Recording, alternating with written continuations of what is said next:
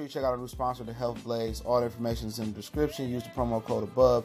Goodfella One Boxing at 18% off of all their natural products from deodorant, pomade, toothpaste, and much, much more. And they have additional discounts on their website as well. That's thehealthblaze.com. Starting December 20th. That promo code is good for 18% off. We go. All right, Justin Bieber comes at Eminem, says Eminem has a nice flow, but he got to stop dissing modern rappers like Lil Xan, who was at Lil Pump, because he doesn't understand uh, them doesn't mean they're whack. I guess that's what he pointed out too. But we back, Goodfellas Sports TV. We in the building. Make sure hit that subscribe button, bell icon button. Won't miss another video.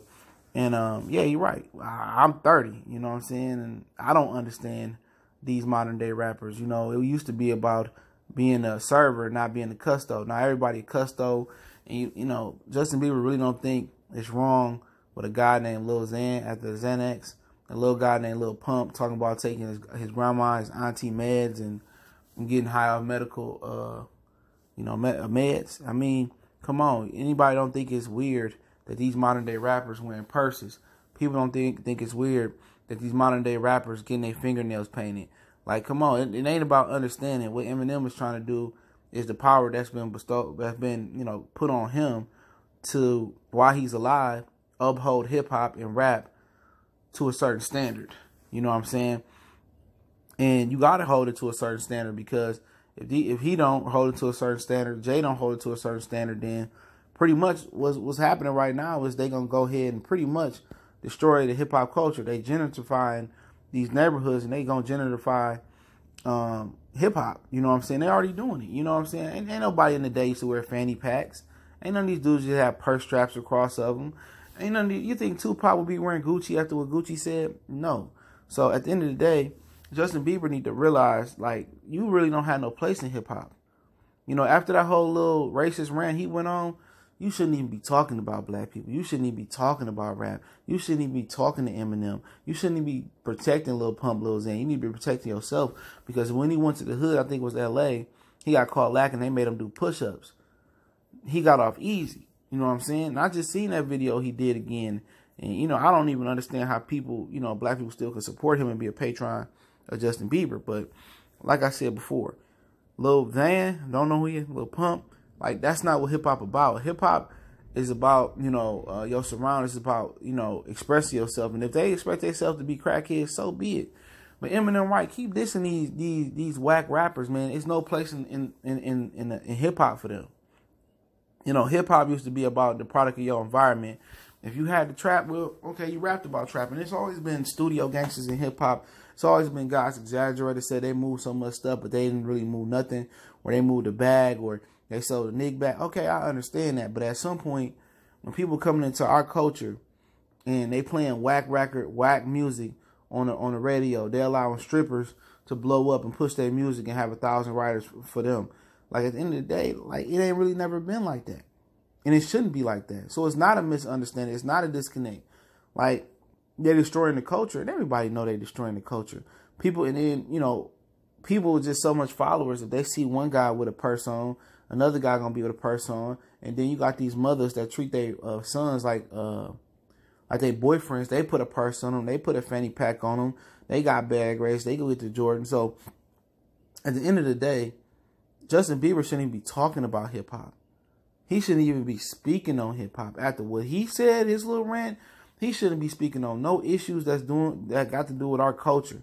Michael Rapaport should be able to speak on that before him.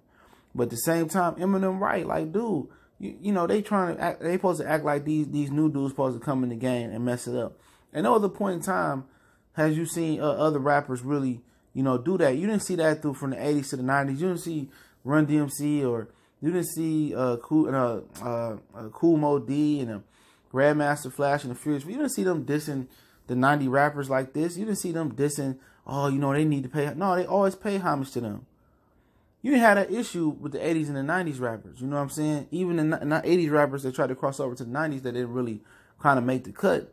They didn't really go on an onslaught and attacking the 90 rappers. You didn't see the 90 rappers attacking the early 2000 rappers. You know what I'm saying? You didn't hear the gangster rappers, you know, Cube and, and Mack 10 and Dub C and, and DJ Quik and, you know, uh, the, uh, Dre. You didn't see them really attacking the trap rappers and T.I., Jeezy, Gucci, they embraced that new genre of gangster music. You see what I'm saying? You didn't really have a lot of that going on from 09. All of a sudden that you got guys wearing purses, you got guys that don't have no bars. They see what they do in the hip hop. They trying to deteriorate hip hop and use hip hop to destroy the black culture. That's what they doing.